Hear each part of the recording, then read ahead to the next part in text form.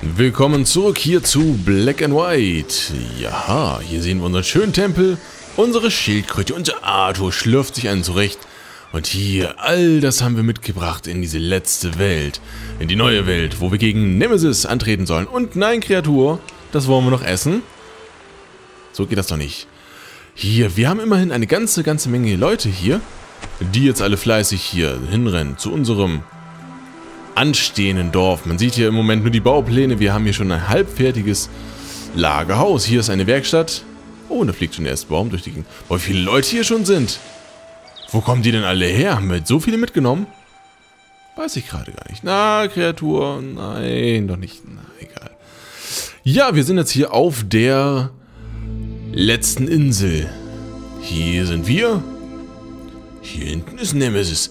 Man sieht das hier schon. Er hat einige Dörfer hier, die allerdings nicht miteinander verbunden sind oder nicht direkt, ähm, die ne, insgesamt alle noch recht klein sind. So ist ja nicht, also schon ansehnlich, aber, also deutlich größer als bei uns, aber egal. Ähm, wir müssen jetzt eben schauen, dass wir hier, ja, unsere Städte hier ein bisschen aufbauen. Ich habe diese Welt nicht vorgespielt und ich bin mir auch ziemlich sicher, dass ich damals äh, diese Welt, also diese Insel noch nie zu Ende gespielt habe oder überhaupt mal hier war. Das heißt, für mich ist das auch alles ziemlich, ziemlich neu hier. Natürlich weiß ich mittlerweile schon, wie man das Spiel so spielt, ne? Haben wir ja jetzt irgendwie fast 80 Folgen lang mitbekommen. Also, dass ich das vielleicht auch nicht spielen kann, ich weiß es nicht, ne? Aber, ähm, wie man jetzt hier diese ganzen Aufgaben löst, vor allem, wie unsere Kreatur jetzt, äh, äh, hier Dingens, ähm, na, wie heißt es? Genau, wie sie verflucht worden ist, das meinte ich. Das kann ich auch gar nicht mal genau sagen. Eine Sache, die Wir ich haben aber... bald kein Holz mehr. Ja, das Lagerhaus ist fertig. Oder? Nö. Eine Sache, die ich aber ganz gewiss sagen kann, ist, das wäre etwas, was ich gerade noch gar nicht zeigen kann, weil ich hier gerade Holz einsammle. Ja, so sieht das aus. Da, Holz habt ihr. Genug, könnt ihr erstmal bauen. Was ich sagen kann, ist, dass dieses Dorf hier nur da ist, weil wir dieses Boot hier schon mal gesehen haben. Wir haben in der ersten Welt, ganz am Anfang, in der dritten oder vierten Folge, haben wir ein paar Leuten geholfen, die auf See stechen wollten, die äh, uns darum gebeten haben, dass wir denen Nahrung und Holz und alles geben, damit die auf See stechen können. Und das sind die drei Kollegen, die in diesem Boot hier nun gestrandet sind und die in der Zwischenzeit hier ein kleines Dorf gebaut haben. Heißt auch, oder das ist das Schöne hier, die haben auch direkt ein kleines Wunder dahin gebaut. Ja, das heißt, das, was wir hier sehen, ist alles schon unsers. Wir haben hier einen Stützpunkt und durch das Wunder kriegen wir direkt durch alle Zauber, oder hier äh, die wichtigen Holz- und Nahrungszauber. ist. Ja, ist ja gut. Äh, kriegen wir direkt äh, mehr äh, Zeugs. Wo bin ich denn desillusioniert oder meine Leute? Schildkröte, du sollst gar nicht abhauen. Hier sind auch so viele Leute. Krötchen. Immerhin der Tempel ist fertig. Hier entwickelt sich das auch langsam. Und das desillusionierte Sein, das ist egal. Was hier noch in dem Boot versteckt ist, das verrate ich ja später. Na, wie gesagt, wenn wir in der ersten Welt, in der ersten Insel nicht äh, den Leuten geholfen hätten, wären wir jetzt, zumindest am Anfang, hier auf uns alleine gestellt. Da hätten wir das andere Dorf nicht. Deswegen wollte ich das gerne gemacht haben. Und was wir da noch von haben, das erfahren wir gleich, während im Hintergrund freudig rumgeschrien wird, wie in einem Freizeitpark. So, hier habt ihr Holz und noch ein bisschen Nahrung, damit ihr nicht noch desillusionierter seid, falls es denn von denen kam. Die anderen müssen hier erstmal unser Dorf, unseren, unser Stadtzentrum aufbauen. Das ist auch wichtig, ne, weil sonst geht das nicht. Aber die brauchen unser Holz. Dann nicht mehr. Hier, kleines Büschlein rein und bringt genau gar nichts. Zack. Hier insgesamt kann man schon sehen, ähm, also so als die üppigen Holzreserven würde ich das hier alles nicht bezeichnen. Oh, guckt mal, ein Wunderspender. Mit einem Feuerball. Stufe 2. Feuerball Extremus. Und was ich auch extrem machen muss, ist äh, hier für Holz sorgen. Gut, dass wir so viel Holz schon mitgenommen haben. Aber wie gesagt, immerhin haben wir schon ein Weltwunder. Das ist ein relativ kleines Weltwunder, aber es wird uns schon einiges helfen, denn wir haben auch einige Leute hier, das heißt, wir können gleich schon relativ viel zaubern, können relativ schnell Mana selbst Hat das äh, etwas erschaffen. mit Nemesis Fluch zu tun? Was denn? Dass es jetzt hier so schnell dunkel wird? Ist aber ganz gewaltig dunkel jetzt. Hallo, es war doch gerade noch Tag. Wo ist der Sonnenuntergang geblieben? Unsere Kreatur sieht aus wie immer. Achso, hat sie was hier gemacht oder was? Dreh dich um! Ähm. Du bist nicht müde. Sorry für das dolle Hauen. Ah, guck mal, ein Kind. Hallo, Kind. Ah, ja, ja, ja. Meine Güte. Ist hier viel Holz gerade. Das kommt alles erstmal hier in die Mitte, damit sie was zu tun haben. Und ihr müsst bauen. Nicht nur rumkrakehlen hier nach Wohnhäusern. Vor allem müsst ihr bauen. Aber was machen die da denn? Bekehrter Baumeister. Was machen die da denn? Tanzen die im Haus hier? Was haben die denn für einen Auftrag? Den hauen wir erstmal eine ganze Menge Nahrung dahin oder eine ganze Menge, wie wir hier finden können, was ja wahnsinnig viel ist. Da habt ihr was zu essen. Ihr habt überhaupt keine Wohnhäuser, ne? Deswegen seid ihr da alle. Dabei, aber sieht cool aus. Trotzdem dürft ihr hier... Ja, das ist genug. Da, Bekehrter Baumeister. wichtig. Bekehrter Muss bauen. Werkstatt ist auch vollendet. Na, was hier alles schon los ist an Menschen. Ich kann mich immer wieder nur erfreuen. Und das zu Recht. Nahrungsmitteltechnisch ist hier echt nicht viel angekommen auf der anderen Welt. Oder die haben uns das alles schon weggeschnappt. Kann ich gerade mal nicht genau sagen. Daher müssen wir schnell hier das äh, Haus fertig haben. Das Dorfzentrum. Wo wir auch kein Holz mehr für brauchen. Damit wir am Tempel hier beten können. Hier haben sie drei Getreidefelder. So viel Holz. Und, ähm, ja. Da müssen wir mal schauen, wie wir das denn hier regeln. Weil, ähm, die kommen mit den drei Stück sicherlich nicht aus. Genauso wenig, wie wir hier mit den Holzvorräten auskommen. Ich meine, hier liegt schon einige, eine gewisse Menge rum, ne? Aber wir wissen ja bereits, Gerüste bauen, Häuser bauen, braucht alles sehr viel Holz. Und hier sind, wie gesagt, die Waldvorkommen doch etwas geringer. Hier unsere Kreatur guckt fleißig zu. Wir können sie ja mal ins Lagerhaus hier ketten. Dann macht sie mal was. Ne, hier, Flauscheleine, wo bist du? Na, da. Flausche, Flauscheleine. Du darfst bis hierhin. Einfach so. Weil ich so gütig bin. Und die sammeln wir auch mal ein. Das sieht doch nicht aus, wenn das hier so verstreut ist. Wir können natürlich auch jetzt schon hier die Einwegwunder dahin zaubern, aber das möchte ich noch gar nicht. Obwohl, hm, vielleicht möchte ich das doch. Wie gesagt, das Weltwunder ist relativ klein. Das heißt, es bringt auch nicht so wahnsinnig viel, aber wir können ja mal testen. Normal bringt ein Holzstäpelchen ja... Die Wikinger! Ja, da hören wir schon, um die 1660 Holz. Jetzt bringt es immerhin schon 3320. Das heißt, äh, doppelt so viel Holz. Genau doppelt so viel. Krass. Ähm, das ist aber schon sehr schön. Das hilft deutlich mit. Und Heiko ist auch wieder mit dabei. Ach, da hören wir das schon. Ha, Kreatur. Sie ist cool. Sie, sie zaubert nämlich Nahrung in das Lagerhaus. Und noch einmal. Yeah. Muss sie eigentlich belohnt werden, aber sie ist ja gerade so fleißig bei.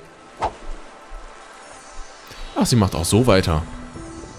Finde ich sehr gut. Hier Holz. Ist natürlich das alles einzusammeln jetzt nicht sonderlich spannend. Wir können aber schon mal diesen ganzen... Ach, sie heilt auch noch. Wunderschön. Machen wir hier draus einfach ein Hörspiel. Ne? Hören wir einfach der Kreatur zu, was sie dann alles am Zaubern ist. Ist ja auch nicht verkehrt. Ist zwar nicht so spannend auf die Dauer, aber hier gibt es schon mal ordentlich Holz. Wir brauchen Gerüste für Wohnhäuser. Okay, Häuser. Hier sind gerade drei Stück entstanden, von alleine.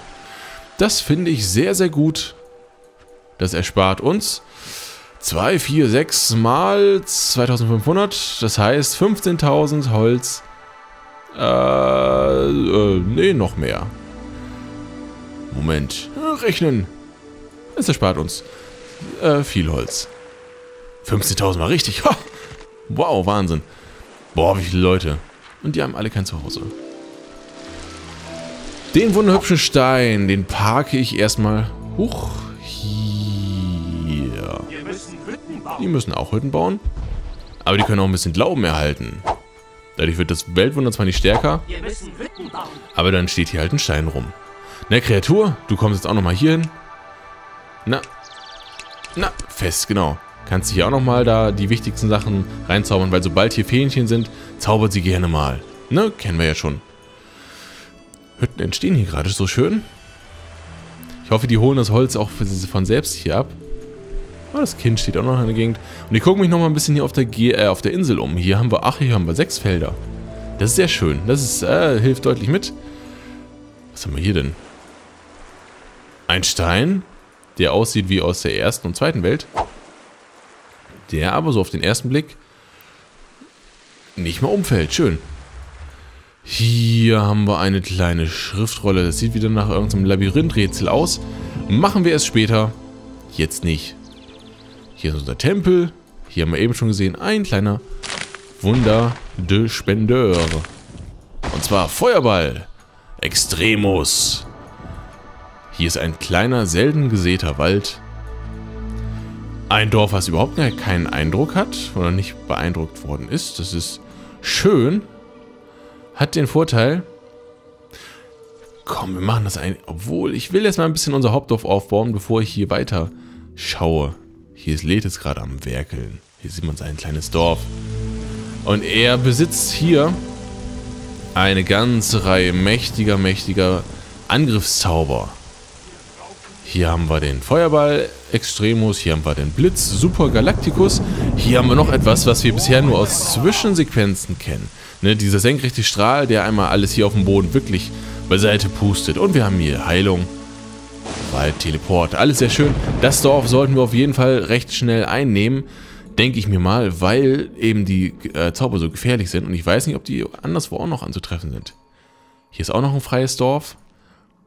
Hm, sehr schön.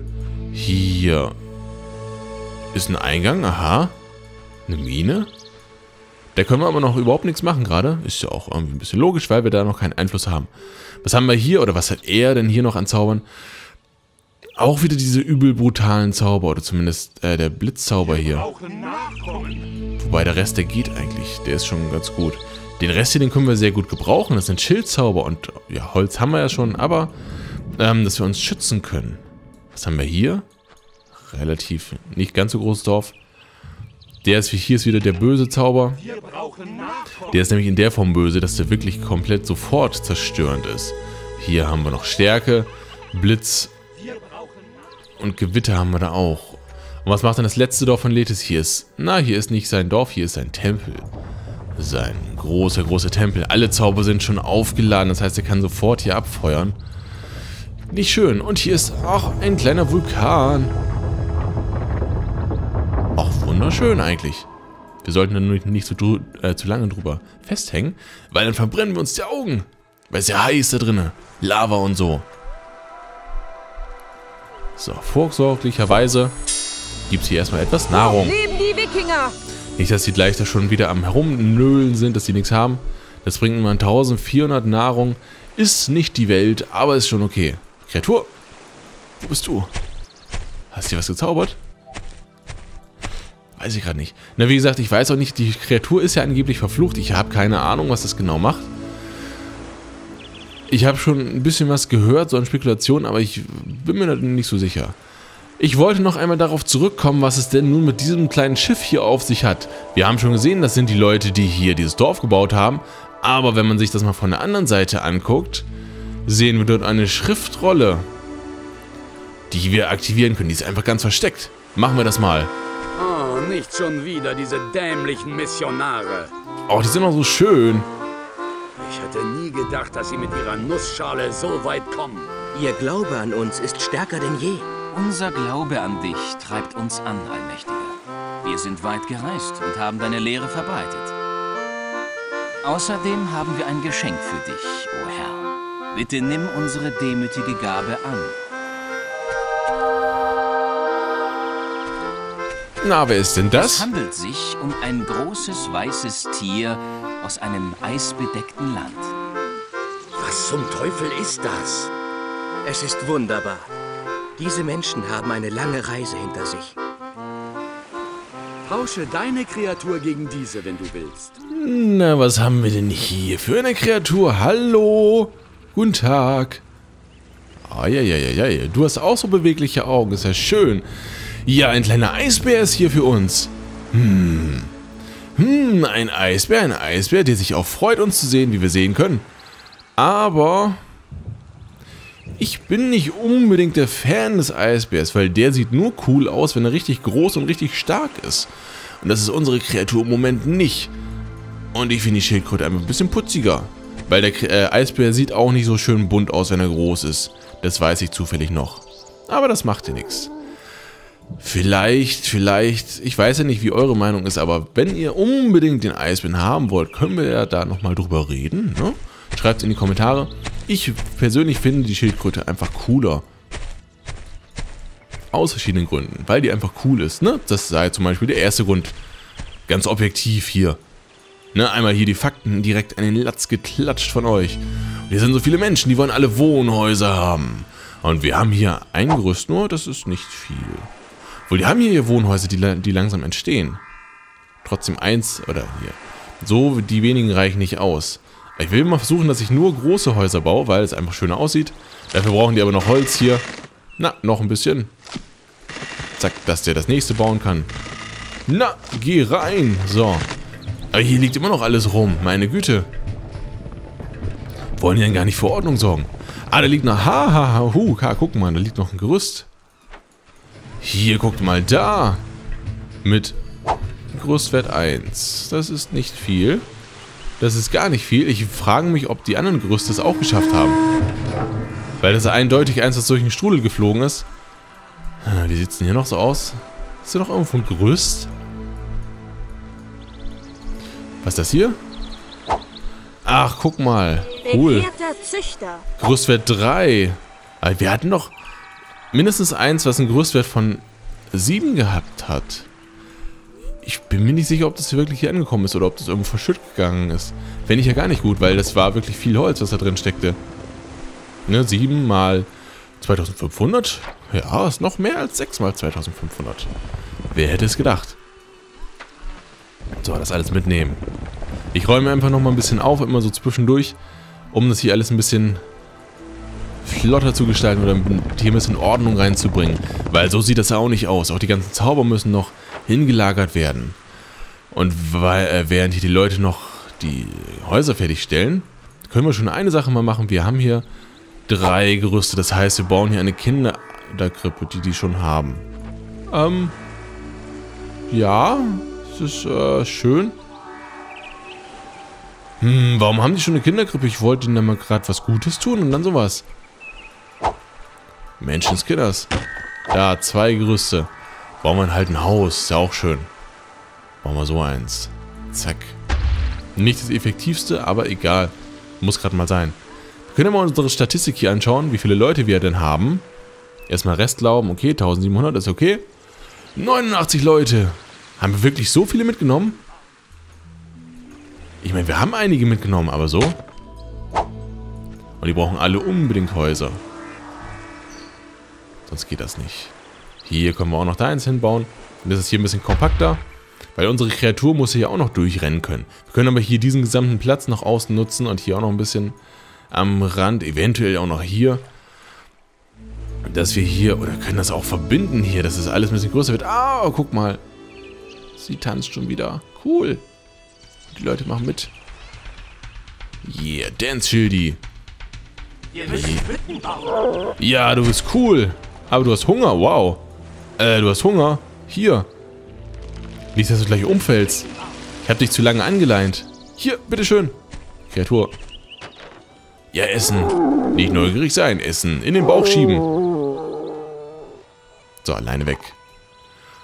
Aber du darfst noch mal hier, einmal oben in den Tempel. Zack. Unser Tempel ist auch noch relativ klein, weil wir noch ganz am Anfang sind. Der wird erst noch mal ordentlich auseinandergefaltet, je weiter wir uns hier ausbreiten. Hm, ich überlege gerade, wann wir eigentlich dieses andere Dorf hier und vor allem auch das Dorf hier hinten einnehmen sollten. Was haben sie denn hier noch an schönen Zaubern für uns? Ach, guck mal an, hier sind auch die Angriffszauber, die der Letis auch hat. Das ist ja cool. Das finde ich sehr gut. Hier ist auch äh, Teleportwunder. Ich habe mir noch überhaupt nicht die eigenen Wunder angeschaut bisher. Auch ein, ein, ein, das ist kein Zustand, kein tragbarer.